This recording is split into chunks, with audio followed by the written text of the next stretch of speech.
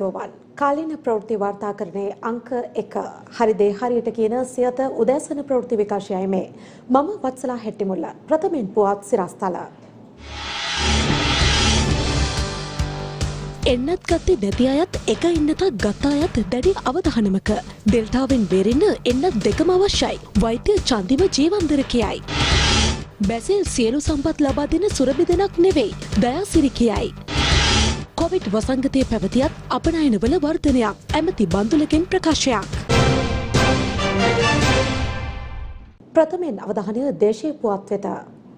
ලොව පුරා ඉතා වේගෙන් පැතිර යන ප්‍රධානතම කොවිඩ් ප්‍රභේදය වන ඩෙල්ටා ප්‍රභේදය ආසාදනය වූ දාහතර දෙනෙකු දිස්ත්‍රික්ක හතරකින් සොයාගෙන තිබෙනවා.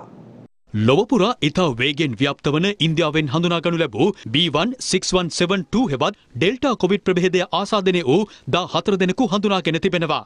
කොළඹ ගාල්ල මාත්‍ර සහ ත්‍රිකුණමලන දිස්ත්‍රික්කවලින් මෙම රෝගීන් හඳුනාගෙන ඇති බවයි ශ්‍රී ජයවර්ධනපුර විශ්වවිද්‍යාලයේ ප්‍රතිශක්ති විද්‍යා සහ ශෛල ජෛව විද්‍යායතනය සඳහන් කරන්නේ. මෙරට කොවිඩ් ආසාදිත පුද්ගලයින් එකසේ විසිතුන් දෙනෙකුගේ සාම්පල මගින් සිදු කළ ජානමය අනුක්‍රමණ පරීක්ෂණ වාර්තාවක් එම විශ්වවිද්‍යාලයේ ආසාත්මිකතා හා ප්‍රතිශක්ති විද්‍යා සහ ශෛල ජෛව විද්‍යායතනය විසින් මේ වන විට කොවිඩ් ප්‍රභේද සම්බන්ධයෙන් කරුණු දැක්වෙන nextrain.org යන ජාත්‍යන්තර වෙබ් අඩවි වෙත යොමු කර තිබෙනවා.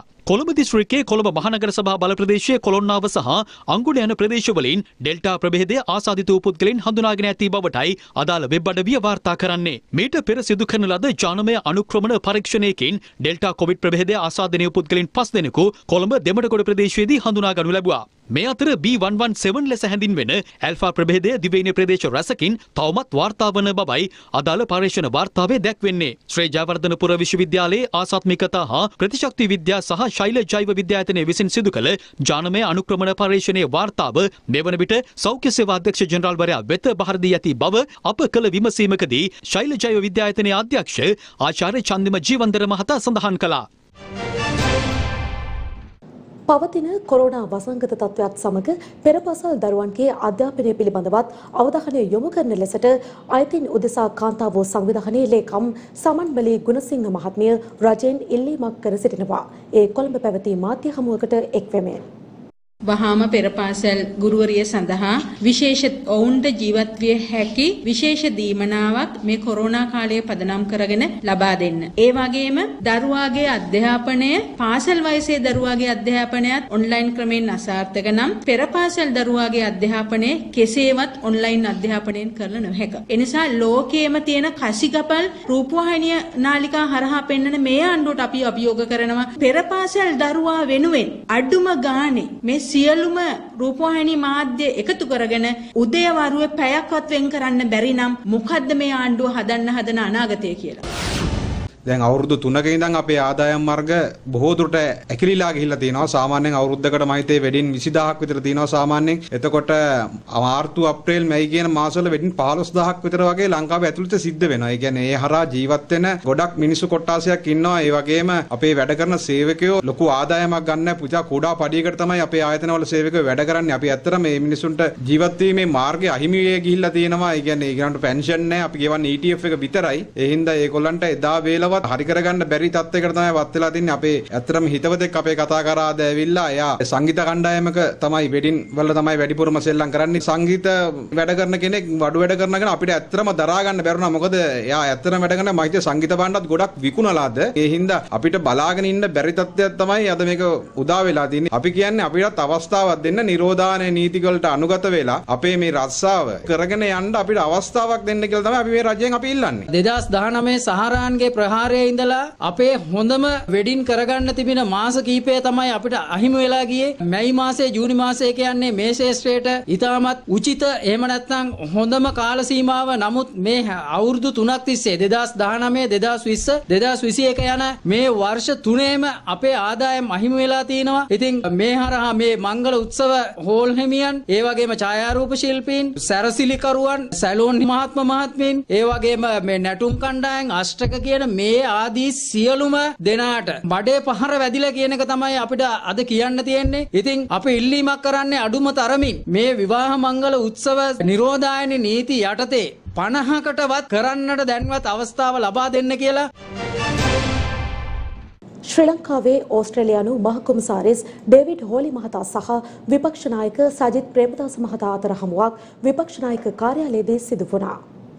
ශ්‍රී ලංකාවේ ඔස්ට්‍රේලියානු මහකොමසාරේස් ඩේවිඩ් හෝලි මහතා විපක්ෂනායක කාර්යාලයේදී විපක්ෂනායක සජිත් ප්‍රේමදාස මහතා හමු වී තිබෙනවා. එහිදී ද්විපාර්ශීය වශයෙන් වැදගත් වන කරුණු රැසක් පිළිබඳව සාකච්ඡා වී තිබෙනවා. එහිදී කොරෝනා වසංගතය සම්බන්ධයෙන් වැඩි අවධානයක් යොමුව තිබෙන බවයි විපක්ෂනායක කාර්යාලයේ මාධ්‍ය ඒකකය ප්‍රකාශ කළේ. එමෙන්ම ශ්‍රී ලංකාවේ සංවර්ධන සහ ප්‍රගතිය උදෙසා අවශ්‍ය සහයෝගය ලබා දෙන ලෙස විපක්ෂනායකවරයා ඔස්ට්‍රේලියානු මහකොමසාරිස්වරයාගෙන් ඉල්ලීමක් කර තිබෙන අතර ඒ සඳහා මහකොමසාරිස්වරයාගේ විශේෂ අවධානයද යොමු වී තිබෙනවා. එහිදී විපක්ෂයෙන් හුස්මක් වැඩසටහන හරහා ක්‍රියාත්මක රෝහල් උපකරණ බෙදාදීමේ වැඩසටහනට අවශ්‍ය සහයෝගයද ලබා දෙන බව මහකොමසාරිස්වරයා සහතික වී තිබෙනවා.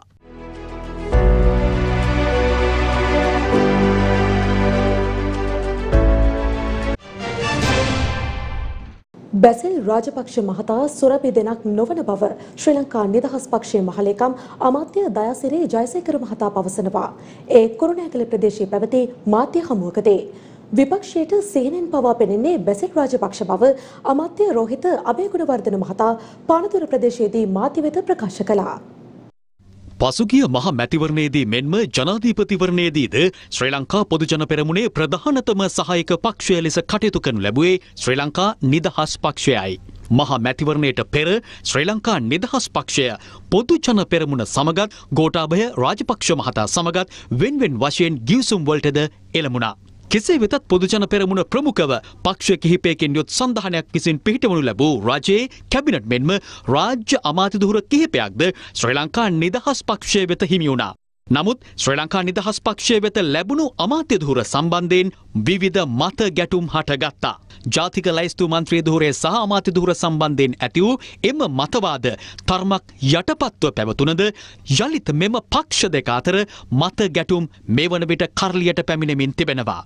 ඒ බැසිල් රාජපක්ෂ මහතා ඉදිරියේදී පාර්ලිමේන්තුවට පැමිණෙන බවට පවතින කතාබහත් සමගයි. එතුමා පාර්ලිමේන්තුවරණයක් ගැන අපේ කිසි ගැටලුවක් නැහැ. එතුමාමයි කියලා සුරබි දෙන පහළ වෙන්නේ නැහැ පහෝදා උදේ. විශාල අර්බුදයක් අපේ රටේ තියෙනවා. ආර්ථික අර්බුදයක්. අපේ රටේ ඩොලර් නැහැ. ණය ගෙවන්න අපිට ඩොලර් බිලියන 29ක් ඕනේ 2025 වෙනකොට. බ්‍රැසිල් මාත්‍යා පාර්ලිමේන්තුවට ආපුවම මේවා විසඳේ කියලා හරි ඉන්නේ නැතුව මේ රටේ ප්‍රශ්න මිනිස්සුන්ට ඉස්සලා කියන්න ඕනේ. කවුරු හරි හිතනවා නම් ආර්ථිකය හොඳට තියෙනවා කියලා එහෙම නැහැ. තිත්ත ඇත්ත මිනිස්සුන්ට කිව්වොත් තමයි මිනිස්සු පිළිගන්නේ. ඔය හදලා තියෙන මැටි ඇමතිකම් අනෙක් පැත්තෙන් කුරුඳු ගම්මිරිස් එහෙම ඇමතිකම් මේ වගේ විහිළු වලට ලක් වෙච්ච විශේෂයෙන් ඔබතුමාලම කියපු බතික් ඇමතිකම මට දීලා තියෙන මේවා ඔක්කොම මේ විහිළු ඇමතිකම් හැදුවෙත් රජිල් රාජපක්ෂ මැතිතුමයි ටීබී ජයසුන්දර මැතිතුමයි. අපිව මේ පැත්තකට කරලා මේ වැඩක් ගන්න දු තියලා තියන්නේත් ඒ අයම තමයි. ඒක තේරුම් ගත යුතුයි සියලු දෙනාම. මේ කැබිනට් එක බැසිල් රාජපක්ෂ මැතිතුමා සහ පීපී ජයසුන්දර මැතිතුමා විසින් නම් කරපු කැබිනට් එකක් මේ තියෙන්නේ. ගොඩාබේ ජනාධිපතිතුමාගේ කැබිනට් මණ්ඩලයක් නෙවෙයි මේ තියෙන්නේ. අත් වශයෙන් කිව්වොත්. ගොඩාබේ ජනාධිපතිතුමාට අපි ආදරෙන් කියන්නේ ඔබතුමත් එක්ක අපි එකට එකතු වෙලා මේ වැඩේ කරන්න ලෑස්ති. ඔබතුමාට විශාල හැකියාවක් ශක්තියක් තියෙනවා.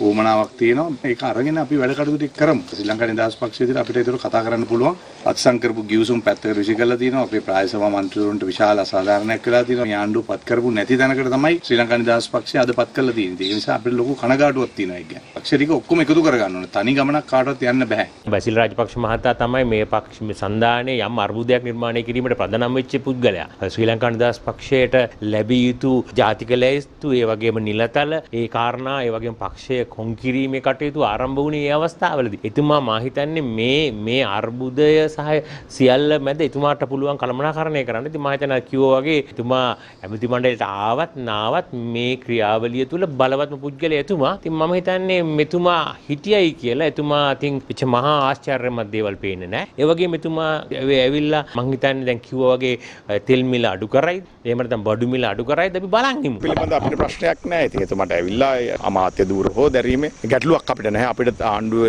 තුලින් අපි බලාපොරොත්තු වෙන අපේ ශ්‍රී ලංකා නිදහස් පක්ෂයට යම් යම් අඩුපාඩු ටිකක් අතපසුවීම් ටිකක් තියෙන ඒවා සම්පූර්ණ කරගන්න මේ නායකින් එක කටයුතු කිරීම තමයි අපේ ඉලක්කය සහ රට පක්ෂයටත් වැඩිය අපේ රට ඉස්සරහට ගෙනියන්න අපේ තවත් යෝජනා රාශියක් තියෙනවා. නමුත් ඉතින් අපිටත් යම් යම් කෙනෙහිලිකම් සමහර අමාත්‍යවරුන්ගේ සිද්ධ වෙච්ච අවස්ථා තියෙනවා. ප්‍රාදේශීය දේශපාලඥයන්ගේ සිද්ධ වෙච්ච අවස්ථා තියෙනවා. ඒ පිළිබඳව අපි ඉතාමත් සම්වේදීව ඉන්නේ. රටේ දේශපාලනික ව්‍යාකූලතාවයක් ඇති වෙනකොට රටේ ජනතාව කනස්සල්ලට පත් වෙලා ඉන්නකොට විවිධ දෙනාට විවිධ දේවල් හිතනවා. නමුත් මම විශ්වාස කරන්නේ මේ මොහොත රජයන් වෙනස් කිරීමේ හෝ වෙනත් දේශපාලන අරමුණු කරා ගමන් කිරීමේ මොහොතක් නෙමෙයි මේ මේ අතර බැසිල් රාජපක්ෂ මහතාගේ පාර්ලිමේන්තු ගමන පිළිබඳව ආණ්ඩු පක්ෂයේ මැති ඇමතිවරුන් දක්වන්නේ මෙවන් අදහසක්.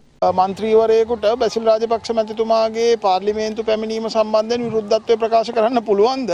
මොකද තමන් පාර්ලිමේන්තුවට පැමිණුනේ ජාතික සංවිධායකවරයා හැටියට බැසිල් රාජපක්ෂ මැතිතුමා පොහොට්ටුවට ලබා දීපු නායකත්වය තුල එතුමාට දුෂ්කර අවස්ථා කළමනාකරණය කිරීම පිළිබඳව සුවිශේෂී විශේෂඥ භාවයක් තියෙනවා. ඒ සහයෝගය මේ මොහොතේ අතිකරු ජනාධිපතිතුමන්ටත් ගරු අග්‍රාමාත්‍යතුමන්ටත් පොදුවේ මේ ආණ්ඩුවටත් සමස්යක් විදියට මුළු රටටම අත්‍යවශ්‍යයි කියලා අපි විශ්වාස කරනවා. අවිවාදෙන් සියලු දෙනා පිළිගන්න කාරණාව තමා බැසල් ඇමතුමාට වැඩ කරන්න පුළුවන් කියන එක. ඒක අපිට ගැටලුවක් නැත්නම් මොකද්ද කියන ගැටලුව? පුදුම මරලතෝනියක් තියෙනවා බැසිල් මහත්තයා පාර්ලිමේන්තුවට එන එක. ඒ කියන්නේ මොකද බය?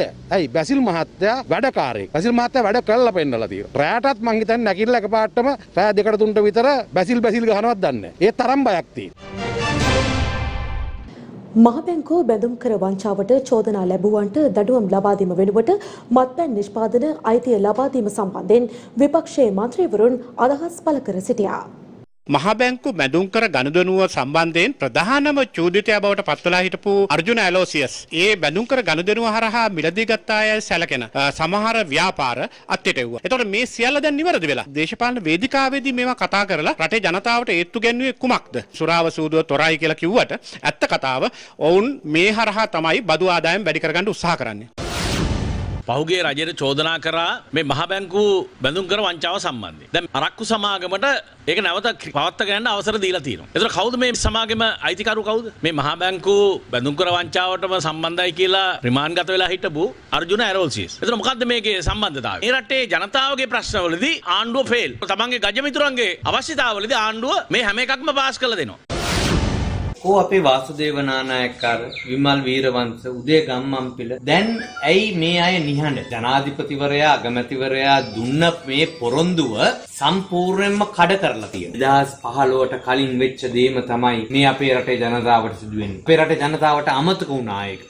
මේ රටේ ජනතාව නැවත නැවතත් රවට්ටන එක තමයි අපිට කිව්වේ ආපු ගමන් බැඳුම් කර නඩුවේ ඉන්න ඒකට වග කියන්න ඕන අය අල්ලලා හිරේ දානවා ඔවුන්ට දඬුවම් දෙනවා ඔවුන්ට නීතිමය ක්‍රියාමාර්ග ගන්නවයි කියලා මේ රටේ ජනතාවට පොරොන්දුවක් දීලා ආපු ආණ්ඩුව අද වෙනකොට මහ බැංකුවේ ප්‍රධාන සැකකාරයෝ හැටියට ඉන්න ඔවුන්ගේ සමාගමට බදු ගෙවන්නේ නැතුව අත්හිටලා තිබුණු බලපත්‍රය නැවත ක්‍රියාත්මක කරන්න දීලා නැවත ඔවුන්ට වෙළඳාම් කරන්න අවසර ලබා දීලා තියෙනවා. ඉතින් කොහෙද මහ බැංකුවේ හොරු අල්ලන්න යන්නේ? පවතින පොහොර හිඟේ හේතුවෙන් පැවති උද්ඝෝෂණ කිහිපයක් දැන් රසායනික පොහොර තහනම් කරමින් කාබනික පොහොර භාවිතය ප්‍රචලිත කිරීමට රජයගත් තීරණයත් සමග හටගත් පොහොර හිඟයට ගොවින්න තුළු විවිධ පාර්ශව දිගින් දිගටම සිය විරෝධය පළ කරමින් උද්ඝෝෂණවල නිරත වුණා. ඒ අනුව ප්‍රදේශ රැසක පොහොර ඉල්ලා උද්ඝෝෂණ පැවැතුනේ මේ ආකාරයටයි. ඇතැම් උද්ඝෝෂණ ව්‍යාපාරවලට දේශපාලඥයින්ද එක්ව සිටියා.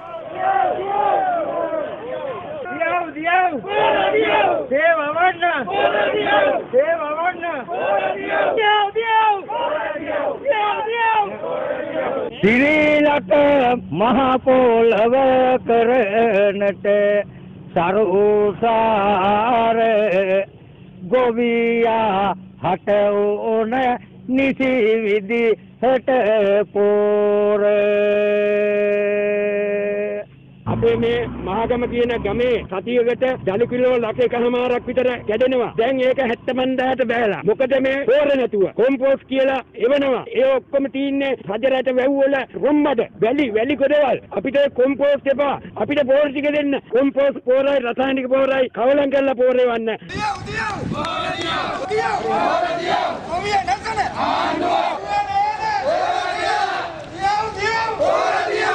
එවන්න.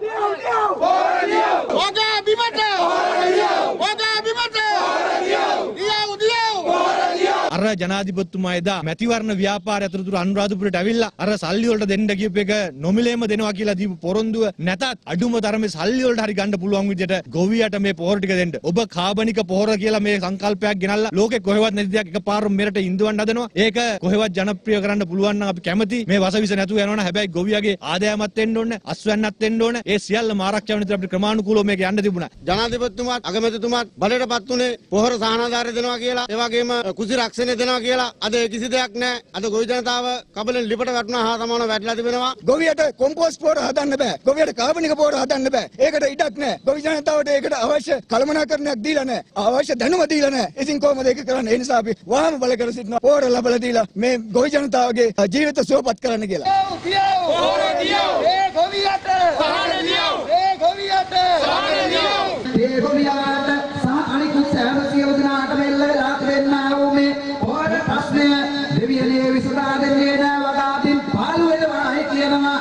ගෝඨාභය රාජපක්ෂ මහත්තයා ගත්තා වූ අදූරදාසී තීරණය නිසා අද මේ රටේ දැවැන්ත පොහොර හිගයක් තියෙනවා. විශේෂයෙන් මෙතුමා කිව්වා රසායනික පොහොර තහනම් කරනවා කියලා. එතුමාගේ මේ ගුරුදික දක බලන්න නැතුව කරපු ප්‍රකාශය නිසා අද මේ රටේ අස්වැන්න 150කින් අඩු වෙලා තියෙනවා. තේවැස්සන්න විතරක් නෙමෙයි වී වගාව, ඒ වගේ මෙරවුළු වගාවටත් මේක බලපාලා තියෙනවා. නමුත් ආණ්ඩුව කිසිම සැලකිල්ලක් දක්වන්නේ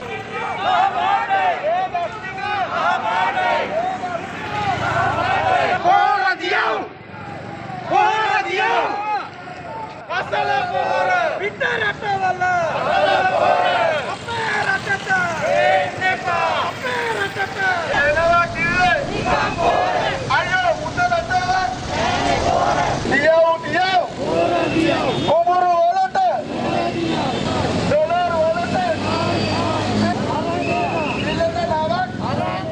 මේ අතර බදුල්ල බොරලන්ද ප්‍රදේශයේදී නිරෝධහන නීති කඩ කරමින් උද්ඝෝෂණයක් පැවැත්වීම සම්බන්ධයෙන් සමස්ත ලංකා ගොවිජන සම්මේලනයේ සභාපති නාමල් කරුණාරත්න මහතා සහ ජනතා විමුක්ති පෙරමුණේ හිටපු පළාත් සභා මන්ත්‍රී සමන්ත විද්‍යාරත්න යන මහත්වරුන් අත්අඩංගුවට ගන්නා ලෙසට අධිකරණය විසින් පොලිසියට නියෝග කර තිබෙන අතර ඒ සම්බන්ධයෙන් අද නාමල් කරුණාරත්න මහතා මාධ්‍යයට මෙලෙස අදහස් පළ කළා. මේ ආණ්ඩුව මේ කෙටි කාලය ඇතුළත මෙරටේ ජනතාවට දැවැන්ත බරක් පටවලා තියෙනවා. ඉතාමත්ම කෙටි කාලයක් තුළ මේ තරම් උද්ඝෝෂණ පැන නැගුණු ආණ්ඩුවක් පෞගී ඉතිහාසයේ දකින්න ලැබුණේ නෑ. අද ගොබියගේ සටනට අපි නායකත්වය ලබා දෙනවා. ඒ ගොවියට මඟ පෙන්වනවා. ඒක අපේ වගකීමක්. අපි පවරගත්ත වගකීමක්. එමනම් ජනතාවගේ ප්‍රශ්න වෙනුවෙන් අපි ජනතාවගේ හඬ නගනකොට ජනතාව වෙනුවෙන් හඬ නගනකොට ආණ්ඩුව අපට මර්ධනය කැදවනවා. මොනවා වගේ නිරෝධායන නීති කඩකිරුවා නම් ඒ කඩකිරීමට අදාළ මූලික වග උත්තරකාරු කවුරුවත් නෙමෙයි ආණ්ඩුව. ඒ නිසා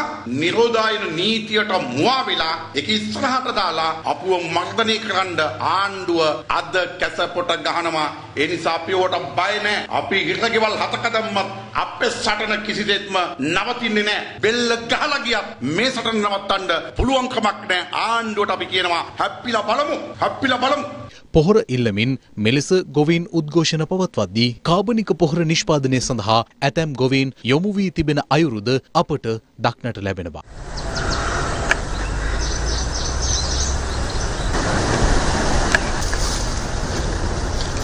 මම මේ වෙනකොට තරුණ ව්‍යවසායකයෙක් විදිහට කොම්පෝස්ට් ව්‍යාපෘතිය පටන් අරගෙන කරගෙන යනවා. ඉතින් මම දකිනවා මේ රටේ මේ වෙනකොට තියෙන මේ පසේ තියෙන දුර්වලකම්. මේ වෙනකොට මේ පස ඊටාම අසාර්ථක පසක් බවට පරිවර්තනය කරලා තියෙනවා. රසායනික පොහොර නැතුව පැලයක් වර්ධනය වෙන්නට ගොඩක් අපහසුයි. ඒ නිසා මම තීරණය කරා තරුණ තරුණයෙක් විදිහට පොහොර නිෂ්පාදනයට මගේ දායකත්වය දෙන්න.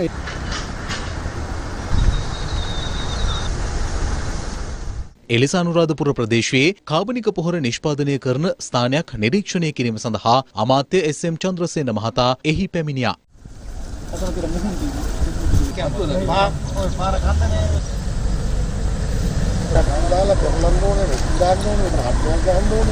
ඉඩම් අමාත්‍යංශයේ ඉඩම් ප්‍රතිසංස්කරණ කොමිෂන් සභාව යටතේ උතුරුමැද පළාතේ යෝජනතාවට අවශ්‍ය පොහොර ටික නිෂ්පාදනය කිරීමේ වැඩසටහන අපි දැන් යෙදලා ඉන්නවා. මේ සඳහා යෝජනතාවගේ හොඳ ප්‍රතිචාරයක් තියෙනවා. ඉතින් අපි හරිදේ සත්‍ය දේ තමයි මේ කරන්නේ. එක්සත් ජාතික පක්ෂය, සමගි බලවේගය, ජනතා විමුක්ති පෙරමුණේ පාර්ලිමේන්තු මන්ත්‍රීවරු, රාජ්‍ය සභා මන්ත්‍රීවරු තමයි බෝඩ් අල්ලාගෙන දඟලන්නේ කියන එක අපිට පේනවා. ඉතින් මේක මේ දේශපාලන ව්‍යාපෘතියක් හැටියට මේගොල්ලෝ මේක දැන් යොදාගෙන ආණ්ඩුවට බලපෑම් එල්ල කරනවා. ගෝ ජනතාව රවට්ටනවා. ගෝ ජනතාවගේ ඇස් බැඳලා දේශපාලනය කරන්න හදනවා. කොවිඩ් වසංගතය හමුවේ වුවද පසුගිය වසරට වඩා මේ වසරේ අපනයනවල වර්ධනයක් ළඟා කර ගැනීමට හැකිවීම රටලත ජයග්‍රහණයක් බව වෙළඳ අමාත්‍ය බන්දුල ගුණවර්ධන මහතා පවසනවා. ශ්‍රී ලංකා අපනයන සංවර්ධන මණ්ඩලයේ පැවති මාධ්‍ය හමුවකට එක්වෙමින් අමාත්‍යවරයා මෙම අදහස් පළ කළා. කොයිඩ් දහනමේ වසංගතය කරන කොටගෙන මුළු ලෝකෙම ආනයන අපනයන ක්‍රියාවලියට ජාත්‍යන්තර වෙළඳ කටයුතු වලට විශාල ලෙස බාධා පැමිණි. මේ හැම අවස්ථාවකදීම ලංකාවේ අපනයන කරුවෝ මුහුණ දෙන ගැටලු විසඳීම සඳහා අපනයන සංවර්ධන මණ්ඩලය විශාල දායකත්වයක් ලබා දීලා තියෙනවා. මේ වර්ෂයේ 2021 ජනවාරි සිට මැයි දක්වා 32.6කින් භාණ්ඩ අපනයන ප්‍රමාණය වැඩි කරගන්න පුළුවන්කම ලැබිලා තියෙනවා රටට. සේවා අපනයන ගත්තොත් 127.3කින් ඒවා අපනයන වර්ධනය වෙලා තියෙනවා. ඒ අනුව මුළු අපනයන ගත්තොත් 131කින් මේ මුල් කාල පරිච්ඡේදය තුලදී ලංකාවේ නිර්යාත වර්ධනය වෙලා තියෙනවා. ඊටම අසීරු අභියෝග සහිත යුගයක මේ අපනයන තුනෙන් එකකට එකකින් පමණ පසුගිය වර්ෂයට වඩා වැඩි කර ගැනීමට හැකිවීම රට ලැබපු ජයග්‍රහණයක් ලෙස තමයි කලකන්නේ. ඉන්ටර්නැෂනල් කොමෝඩිටි එක්ස්චේන්ජ් හබ් එක ලංකාව තුල පිහිටවීම සඳහා වෙන කැබිනට් පත්‍රිකාවක් මේ වන විට සකස් කරලා ඉවර කරලා තිබෙනවා. අපේ රටේ ඇඟලුම් වලින් වැඩිම ප්‍රමාණය අපනයනය කරන්නේ ඇමරිකා එක්සත් ජනපදයේ. අපනයන සංවර්ධන මණ්ඩලය සහ සුළු හා මධ්‍ය පරිමාණ රෙදිපිලි ඇඟලුම් අපනයන කරුවෝ එකතු වෙලා ඇමරිකා එක්සත් ජනපදයේ විශේෂිත ගුදමක් හා ශ්‍රී ලංකන් හබ් එක ඇමරිකාව තුල පිහිටවීම සඳහා අවශ්‍ය කටයුතු යොදාගෙන යනවා මේ වර්ෂය තුලදී කරන්න පුළුවන් වෙයි. ඒ නිසා මේ වර්ෂය තුලදී අපේ අපනයන සංවර්ධන මණ්ඩලයට කොවිඩ් 19 වසංගතයේ ඇති පීඩනයේ හමු වුණත් ඉදිරි පියවර රාශියකට ගමන් කරන්න පුළුවන්කම ලැබෙනවා.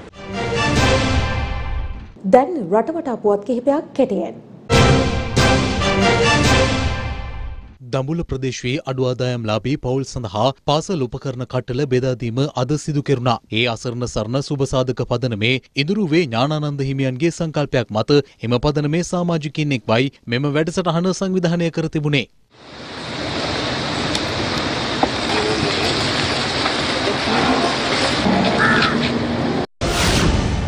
තමිල්නාඩුවේ අංගමාලි ප්‍රදේශයේදී මද්‍රව්‍ය ජාවාරම් සිදු කිරීම සම්බන්ධයෙන් මෙරට ජාත්‍යන්තර මද්‍රව්‍ය ජාවාරම්කරුවන් තිදෙනෙකු කේරළයේදී අත්අඩංගුවට ගෙන තිබෙනවා. කේරළයේ රාජ්‍ය ත්‍රස්ත විරෝධී බලකාය විසින් මෙම අත්අඩංගුවට ගැනීම සිදු කර තිබෙනවා. කොළඹ කොටස් හෝමාරුව සහ කොළඹ වරායනගර ආයතනයෙක්ව ගිවිසුමකට අත්සන් තබා තිබෙනවා. කොළඹ වරායනගර ජාත්‍යන්තර මූල්‍ය මධ්‍යස්ථානය විශේෂ අවධානයක් යොමු කරමින් හා එය ප්‍රතිලාභයක් බවට පත් කරගනිමින් කලාපීය පිළිගත් මූල්‍ය හෝමාරුවක් කොළඹ වරායනගරය තුළ ඇති කිරීම සහ කොළඹ වරායනගරය තුළ ජාත්‍යන්තර බහු විනිමය හෝමාරුවක් ඇති කිරීමේ අරමුණු ඇතිවයි මෙම අවබෝධතා ගිවිසුම අත්සන් තබා ඇත්තේ. එත් සමගින් සියත උදැසන ප්‍රවෘත්ති විකාශය මෙන් නිමවට පත්වනවා. යළිත් හමුවමු මධ්‍යහන ප්‍රවෘත්ති විකාශයෙන්. ඔබට සුබ දවසක්.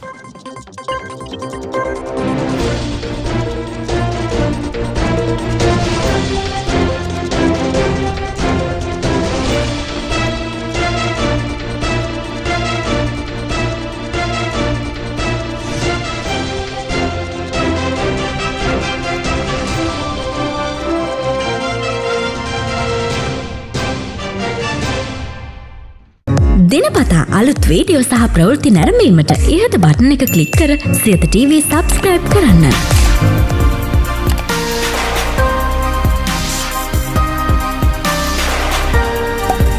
අලුත් වීඩියෝ ගැන මුලින්ම දැනගන්න මෙම සීනුව ක්ලික් කරන්න.